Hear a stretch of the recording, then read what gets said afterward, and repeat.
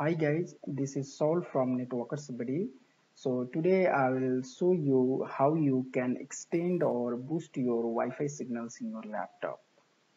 So uh, let me show you first. If you are getting a signal similar to this similar similar to this like there is one bar or, or two bars or three bars not uh, full range Wi-Fi signals in your laptop so don't assume that this is the fault of your router. Your router is producing good signals only. So this could not be the fault of your Wi-Fi router. Your Wi-Fi router may be producing the good signals or good range Wi-Fi range but your laptop may not be able to handle or accept receive the good signals which are coming from your Wi-Fi router. So always don't blame your router. Uh, this uh, this could be the fault with your Wi-Fi drivers installed in your uh, laptop or PC. So to fix these issues, we have to uh, open our Wi-Fi adapter settings. So to open this, you have to go to the Wi-Fi network signals right click and open network and internet settings. Then you need to click on the Wi-Fi and then change adapter options.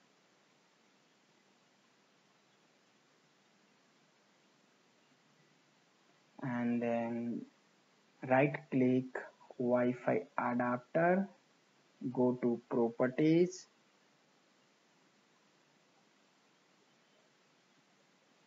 And then go to configure.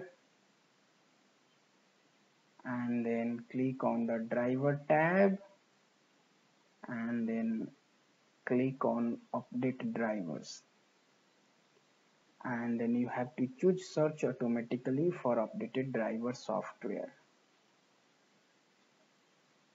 now it is searching for drivers online and it will download the drivers and install for you.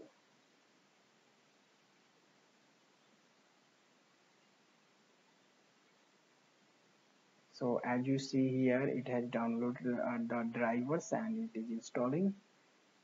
So finally we got the message that windows has successfully updated your drivers now I will close this and I'll check. Now it is asking to restart your computer. So we can restart the computer to take into effect. Once you update your Wi-Fi drivers in the same way you will notice your Wi-Fi signals got boosted